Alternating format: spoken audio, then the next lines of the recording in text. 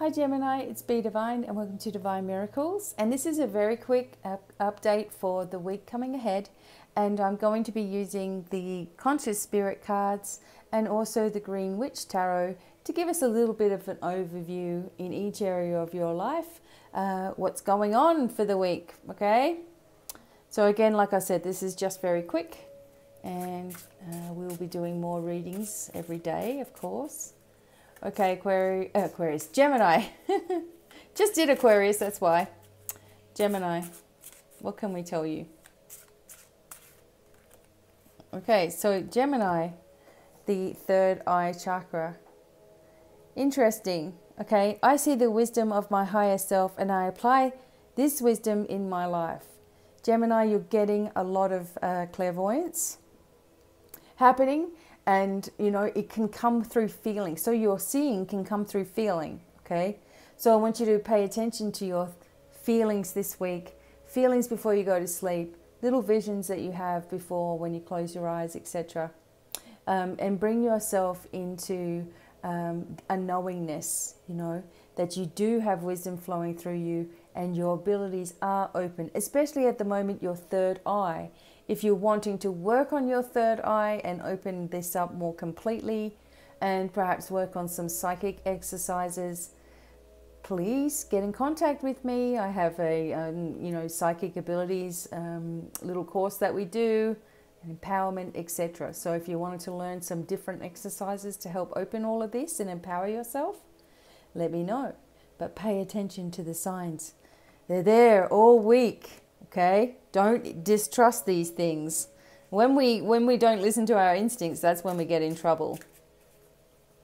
Okay, Gemini, what else is there for you?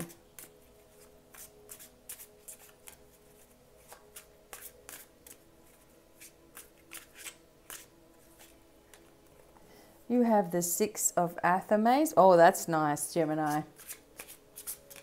Okay. The Three of Cups, fantastic. Oh boy, what a great week you're going to have, Gemini, and the Queen of Athames. Okay, Gemini. Let's do this for you. All right, so first let's start off with the um, Six of Athames, which is like the Six of Swords, okay? So you head on this journey alone, okay? You're doing a journey alone, you're traveling at some distance for some of you but for others, you know, you're getting away from a whole lot of issues, a whole lot of drama, right? You've turned away. This is the end of Saturn being in retrograde, the beginning of it being, you know, moving direct. It's, it's, it's you know, 9, 19, 19. It's just like really positive energies as I'm doing this now. So continue to move forward. Okay, don't let anything or anyone hold you back right now, Gemini. It's really important um, your third eye is telling you, right? Then you have the uh, Three of Cups with this energy. Okay, so the Three of Cups also showing a bird in the background, people raising their glasses, celebrations happening, and you celebrating your own victories and your own achievements. Something is going to get a little bit easier, or some good news is coming forward for you. Of course, traditionally, Three Cups can indicate engagement, um, you know, marriage, parties, celebrations as well, as well as three girls getting together for some reason, you know. Or it can just indicate happiness, like on every level. The cup is full, you're celebrating. This is amazing news. Probably because you got rid of all this drama, right? Now, the uh, third card for Gemini is the Queen of Athames. Now, when this card comes up, in some people's readings, it comes up as somebody who is, if you're asking, is somebody causing trouble? Um, this would say yes. you know, if you're asking, is there somebody who um, I should be careful for about? It's like, yeah. so the Queen um, of Athames can get a bad rap. Um, but it's like someone who's by themselves or someone who enjoys being by themselves or just the energy that you need to be a little more or cool your jets a little bit maybe just be a little bit more independent doing what you want to do um, you know, taking some time away. Okay, that it's really important for you to do that.